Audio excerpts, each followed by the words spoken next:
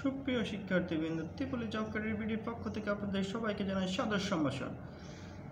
আজকে আমরা magnetic circuit এর প্রথম উদাহরণটা করব তেরো দশমিক এক সাদেপুরের বই থেকে। এখানে যে জিনিসটা বলেছে, এরকম একটা সার্কিট দেওয়া আছে, এখান থেকে আমাদের বের করতে বলছে কারেন্টগুলো আই ওয়ান এবং আই টুর মান। আচ্ছা এটা করার জন্য আমাদের যেটা করব, সেটা হচ্ছে কেভিএল ইউজ করব।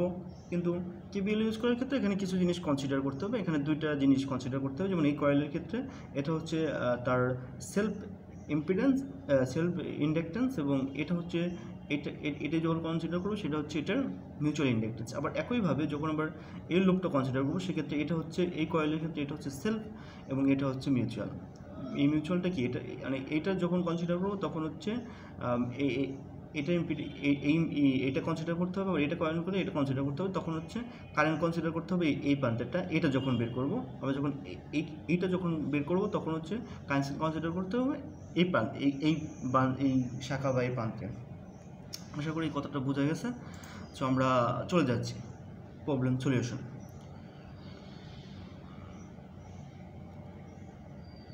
আচ্ছা তাহলে সলিউশন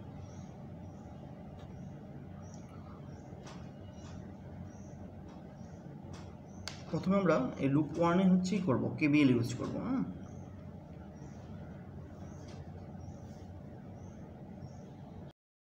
আমরা আমরা হচ্ছে এটা কল্পনা করব পজিটিভ সেক্ষেত্রে এটা পজিটিভ নেগেটিভ একবারে করে ফেলি। এটা এই কে ভিএল মনে হয় সবাই ইয়ে আছে, তাহলে হচ্ছে K VL K VL for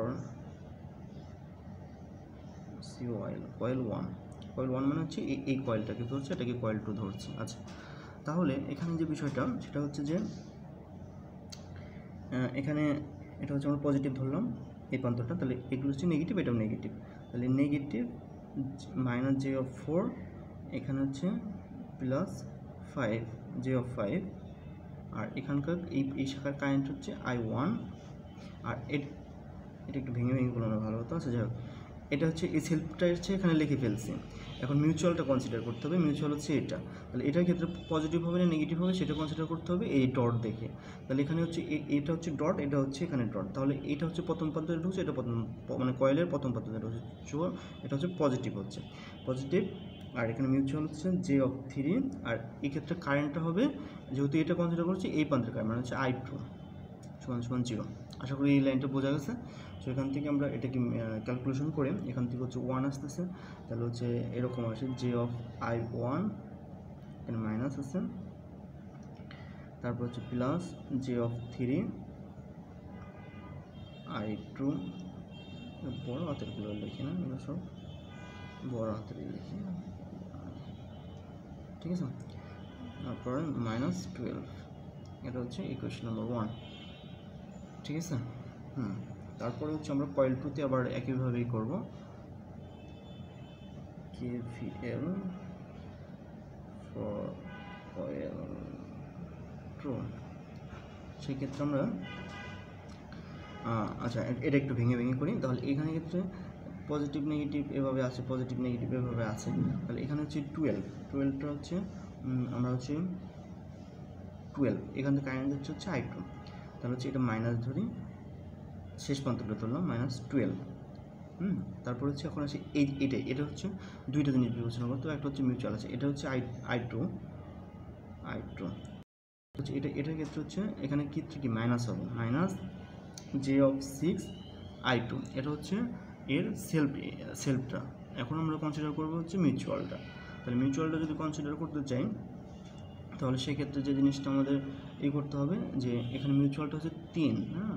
এবং সেক্ষেত্রে কারেন্টটা হচ্ছে এটা। আর এই চিহ্নটা তো আমরা সেই আগের হিসাবে করছি, তাহলে এটা পজিটিভ জে অফ থ্রি আর কারেন্ট হচ্ছে এখানে I one equal to zero আশা করি এটা বোঝা গেছে। হুম, তাহলে এখান থেকে ক্যালকুলেশন করে, এখন এটা কি ইকুয়েশন এটা ইকুয়েশন এটা দুইটা থেকে সলিউশন করে আমরা হচ্ছে আই ওয়ান এবং আই টুর মান বের করতে পারব ইজিলি সো এই ক্যালকুলেশনগুলো অত বেশি একটা ডিটেলস করছি না, আমি সরাসরি মানগুলো বসিয়ে দিচ্ছি। সেখান থেকে ক্যালকুলেশন করলে আমরা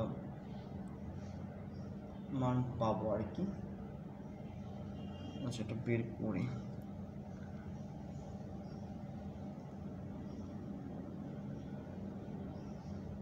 বের করাটা ভালো হয় না। হুম আচ্ছা। তাহলে কি করা যায় এখানে। এখান থেকে আই ওয়ানের মানটা বের করে ফেলি। I two is equal to minus twelve plus J of I one by J of three এই এটা হচ্ছে আই টুর মান। তাহলে আই টু হচ্ছে এখানে। তাহলে এখানে হচ্ছে minus twelve plus minus J of six এখান থেকে আই টু আই টু মানে হচ্ছে এই মানটা। Minus twelve J of I one by J of three plus J of three I one equal to zero so এখান থেকে calculation করে I ওয়ানের মানটা, কারণ সবগুলোই ভেরিয়েবল একটা শুধু আই ওয়ান আছে আই ওয়ানের মানটা এখানে পাওয়া যাবে।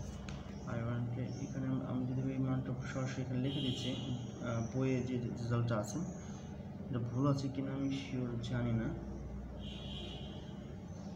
ক্যালকুলেশনটা করে যেটা আসে আর কি। আমি শুধু শুধু লজিকটাই বোঝাতে চাচ্ছিলাম, এটা আই ওয়ান এবং আই টু এর মানটা হচ্ছে।